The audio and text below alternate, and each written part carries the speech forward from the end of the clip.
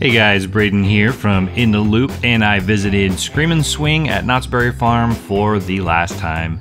Uh, that is because they have announced that September 8th, 2015, Screamin' Swing will close forever. Um, they did not say if it was going to be replaced, but we could all assume that it's getting replaced with some type of thing. There's a nice little footprint over here.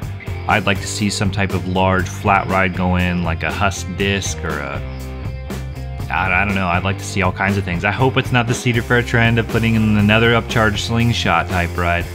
But yeah, the Screamin' Swing is going away. So I kind of, this is my kind of theory, maybe my hope, uh, that this is what's going on. Riptide is currently backstage getting, finally getting fixed. Uh, there was an extensive repair that they had to do, and they're now taking those steps to get Riptide up and running once again. Um, it has sat here for probably, I don't know, two or three years, not even operating, just sitting here as a decoration. But it would be nice, as you can see, they're putting some effort into this kind of area, which would you know, with like the candy shop. They just put in this candy shop over here. And I could see, you know, from the swing, they got the candy shop, this nice fountain, Voyage to Iron Reef, and now Riptide getting fixed, which would tie that whole area.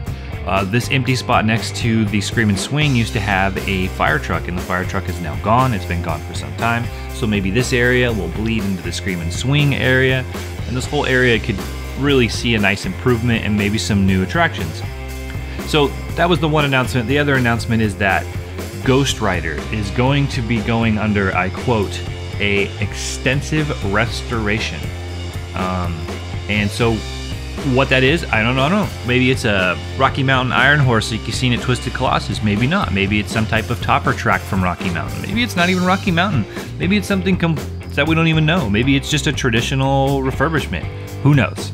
But if you guys want to see what's going on here at Knott's Berry Farm, remember to subscribe to the channel. We, of course, we'll be checking in, seeing what's going on, and showing you all the little things that are changing. And as soon as we find out, we'll let you know. So thank you guys for watching, and we'll see you next time.